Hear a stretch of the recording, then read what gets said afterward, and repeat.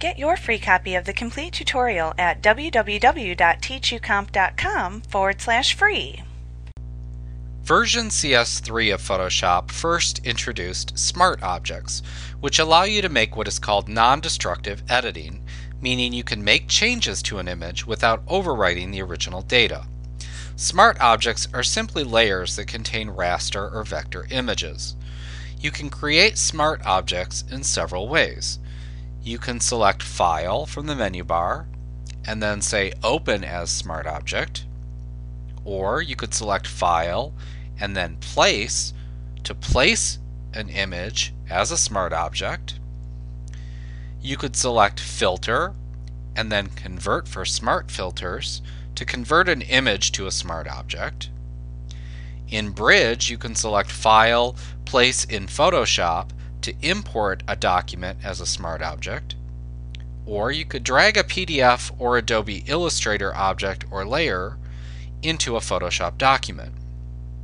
Now we're working right now with an image that comes preloaded with the Adobe Photoshop application called Smart Objects PSD. And this is a good example. It already has a bunch of smart objects already set up for us here.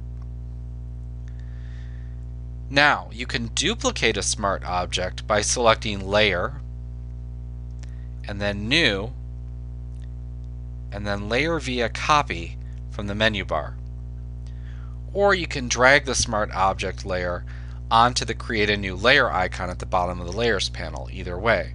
You'll see it creates a new one right over here, DJ Copy 8 for us.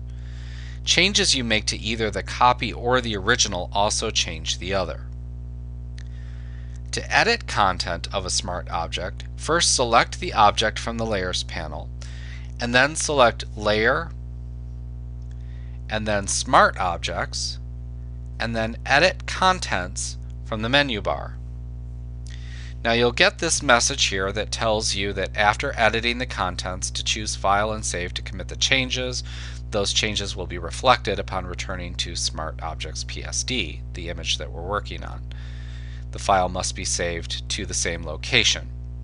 We'll go ahead and click OK. Then what it will do is launch Adobe Illustrator, which would then allow us to go in and edit that particular document. We're not going to do that right now, so we'll go ahead and exit here.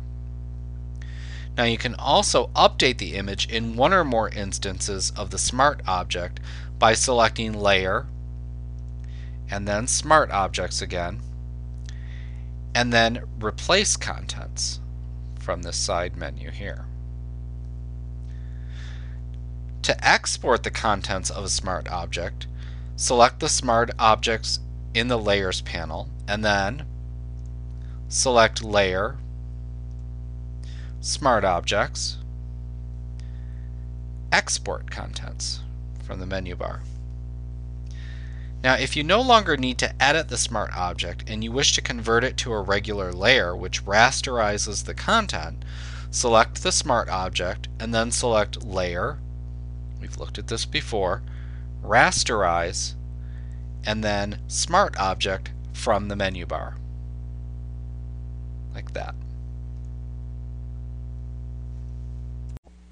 Like what you see? Pick up your free copy of the complete tutorial at www.teachucomp.com forward slash free.